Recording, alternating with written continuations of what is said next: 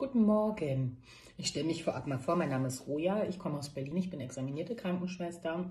Habe bis vor einem halben Jahr im Krankenhaus gearbeitet, bis mir das zu viel wurde mit der Pandemie, ähm, der Nichtwertschätzung, der leeren Versprechen vom Staat für die Pfleger, für die Schwestern, für ähm, die Ärzte.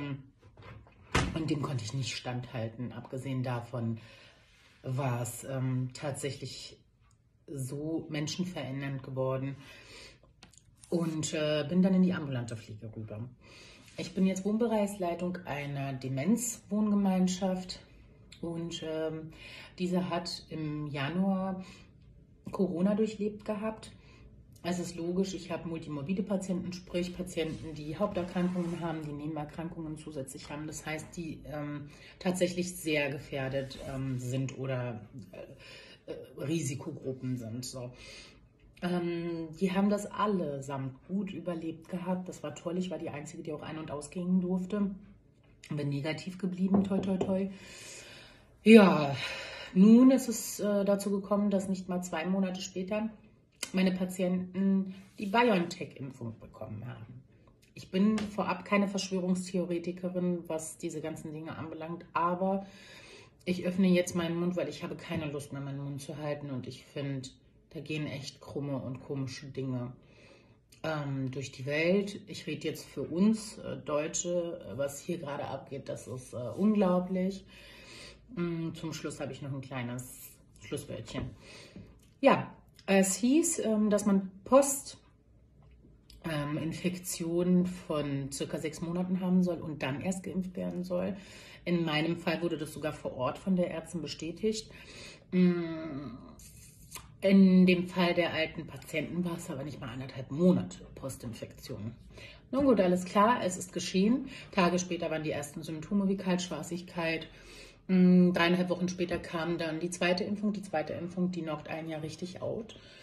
Und ähm, dann begann es.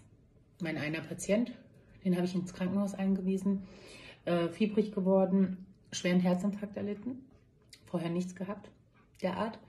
Mein anderer Patient, der so schon herzkrank gewesen ist, hat plötzlich nur noch 15% Herzkraft. Das heißt, er hat nicht mehr lange zu leben. Und dann habe ich eine Patientin vor einigen Tagen aufgrund von Dehydration, also zu wenig Wasser in den Venen im Körper, ins Krankenhaus geschickt, damit sie aufgepäppelt wird mit äh, Flüssigkeit über die Vene, weil ich das vor Ort nicht mache. Mm, und musste zufälligerweise gestern, weil ich angerufen habe, um nachzufragen, das tue ich alle paar Tage, ähm, was jetzt der Stand der Dinge ist mit meinem Patienten. Erst von einer dritten Person, die ihren Stock auch nicht aus dem Arsch ziehen konnte, Verzeihung, äh, die Umgangssprache, ich bin wirklich einfach nur wütend, dass meine Patientin verstorben sei. Plausible Gründe gab es nicht. Ich gehe dem immer noch auf den Grund. Ich werde es nicht zulassen, alte Menschen als Versuchskaninchen zu testen. Ähm, und ich finde, wir sollten echt mal unseren Mund aufmachen. Das, äh, ich frage mich wirklich, wieso wir nicht auf die Barrikaden gehen, weil uns wird so viel genommen, uns wird die Freiheit genommen, uns werden Menschen genommen. Auch wenn die alten Menschen vielleicht nicht mehr viel zu leben haben, sagen andere, aber Leute, es sind Menschen. Was ist nur geschehen mit dieser Welt? Das ist ein Tag nach der Impfung, habe ich meine Patientin weggeschickt weil sie mir nicht gefallen hat. Sie sah nicht mehr aus wie sie selbst. nun erzählt mir mal, BioNTech, AstraZeneca, Moderna, wie auch immer diese ganzen Impfstoffe heißen. Wie lange bedarf es, einen Impfstoff zu legalisieren, so wie wir es, seitdem wir die Medizin und die Forschung kennen, der Fall ist? Und jetzt ganz plötzlich, nicht mal ein Jahr später, haben wir Impfstoffe, plötzlich mehr als einen. Und die werden so hochgeheilt, aber merkt ihr eigentlich, wie viel schief geht und wie viel eigentlich auch ähm, beschwichtigt wird?